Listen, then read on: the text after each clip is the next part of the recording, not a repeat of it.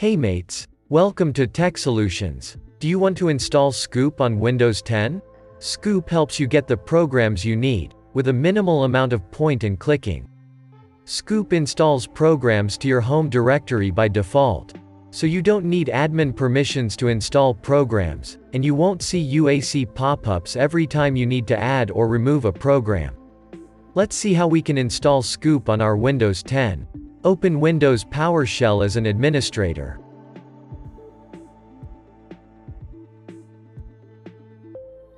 First change the execution policy as shown to avoid any errors during installation of Scoop.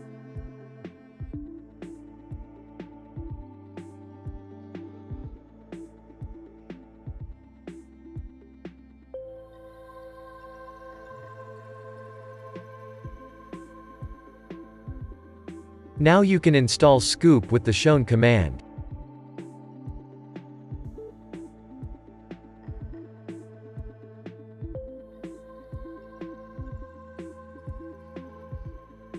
This may finish quickly.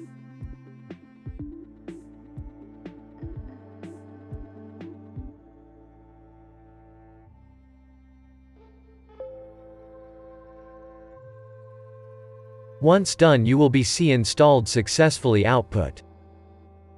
You can use scoop help command to understand different scoop commands. Like you can use scoop list command to list the scoop installed packages on your system.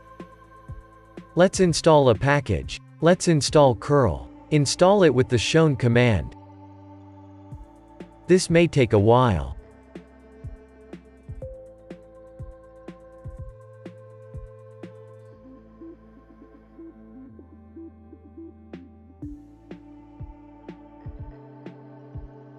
It's done. Curl is installed successfully. You can verify it using scoop list command. Anything to ask? Comment it. Thanks for watching. Good day.